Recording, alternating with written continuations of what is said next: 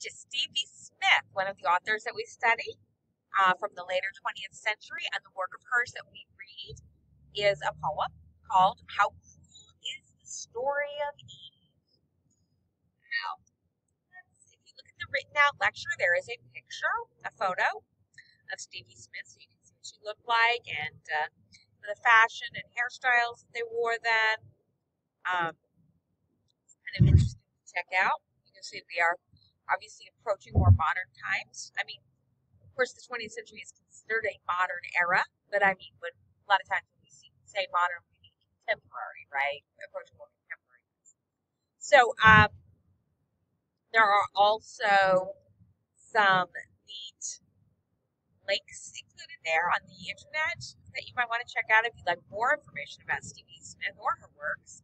Uh, there's a website with links to extensive biographical and literary information, as well as a YouTube video featuring Stevie Smith reading another of her poems called Not Waving But Drowning. That's a really interesting poem, too, very thought provoking. I, I encourage you to check it out. It's really, it's a very short, too. There's also a YouTube video that analyzes that poem, Waving But Drowning. Now, Stevie Smith, she uh, is she was British. She lived from 1902 until 1971, till about 68 years old. She was born Florence Margaret Smith in Hull, Yorkshire, England, where she lived with her parents until she was four, and then moved to Palmer's Green, a poorer suburb of London. Um, her father eventually left the family, however, and her mother suffered from serious health problems. Her father, um, oh, so because of that, Stevie was raised largely by her strong-willed feminist anti auntie Lion. So, ant, in other words, auntie Lion, uh, which is what Stevie called her. Lion, maybe because of how strong she was.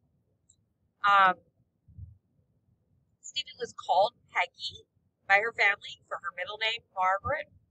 But Stevie was a nickname she got with friends because she was so short that people nicknamed her Stevie after the popular horse jockey named Steve Donoghue. So that's how she got her name, Stevie.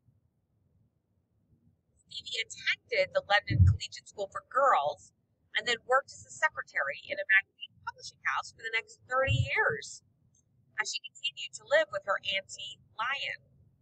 Stephen started writing poetry and novels in her 30s and continued to do so till she died of a brain tumor at 68.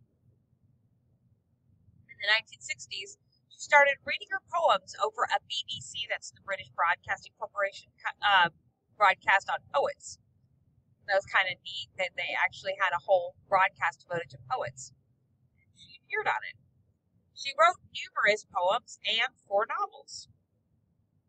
Interestingly, Stevie never married. Uh, she lived with her auntie Lion actually for her entire life. Um, she did not achieve notoriety until the very last few years of her life, in fact.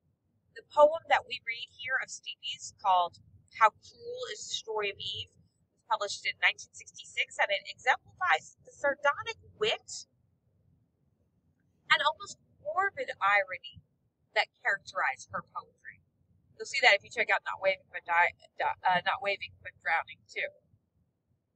Sylvia Plath became an avowed Stevie addict, quote unquote Stevie addict, addicted to Stevie's poetry, in other words, just because of Stevie Smith's artful use of language, rhyme,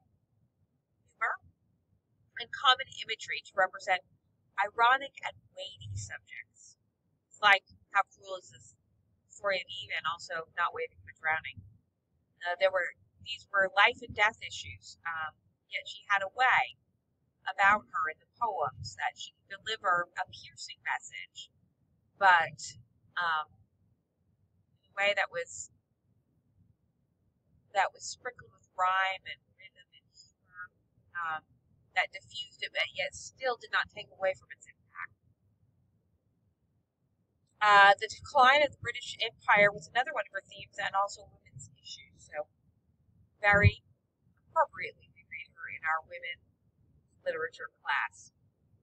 Raised on a diet of New English Bibles, Stevie often drew from and commented on religion in her writings, as she does in the poem that we read here for class, How Of Eve, uh, which is also fitting for our class to study that poem since we have traced how the story of Eve has impacted women's issues and thinking about women uh, from medieval times forward.